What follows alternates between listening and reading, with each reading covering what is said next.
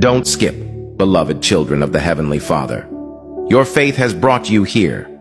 If you stay until the end, it's a sign that you have immense faith in the Heavenly Father and divine blessings await you. For some time now, my sons and daughters, I've been trying to communicate with you through people, liberations, and videos like this.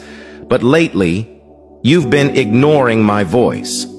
However, I feel that at this moment, you are paying attention to what I'm going to prophesy about your life, my children. I know what you've been through since the beginning of this month, your difficulties and frustrations, and if this message doesn't make sense in your life, you won't see it through to the end, and that's what the devil wants. But if you watch it to the end, you will be doubly and miraculously blessed. The first blessing of financial breakthrough will reshape your reality and astonish those around you. They will know that I am the God of your life, and I am with you. The second blessing is healing, in the name of Jesus Christ. Before the end of this month, you will rise from your bed and be healed. Not only physically, but also spiritually.